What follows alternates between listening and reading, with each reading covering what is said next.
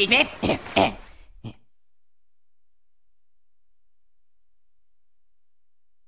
Mr. Jefferson, I wish I could be around you all the time. You're awesome.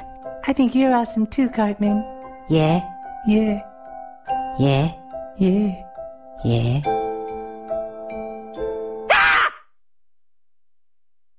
What's the matter, Stan? You have a bad dream? Yeah, a really bad dream. Oh, Jesus.